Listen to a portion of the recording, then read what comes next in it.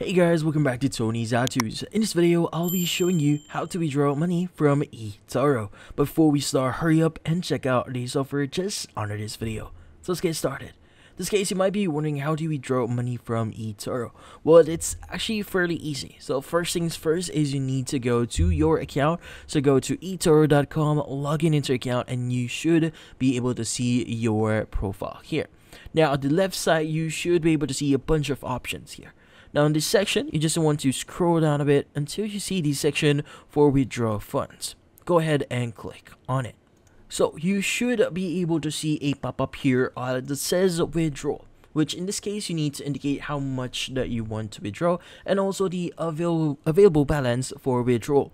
Now also there's going to be a fee that you need to pay for your for the actual withdrawal. So typically it's going to be around $5, but it actually depends on the current platform fee. So this might increase or decrease in some or sometime in the future. But in this case, once you've entered the amount that you want to withdraw, go ahead and click on next. Now, the next window, what you need to do is you now need to use the method that you want to actually withdraw. So you have the withdraw to eToro money and use a different method. Let's go and choose use a different method.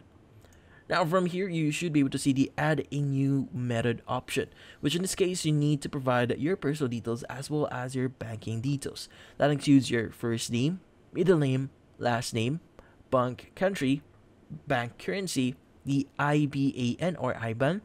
In this case, go ahead and click on submit once you've entered all those details.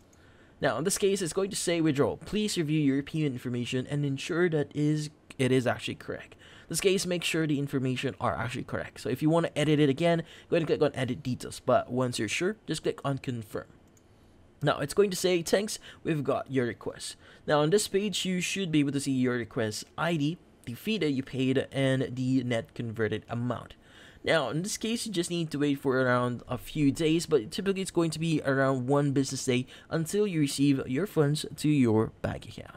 Now in this case, once you hit on tanks, it will redirect you to your account again and you should be good. And that's about it.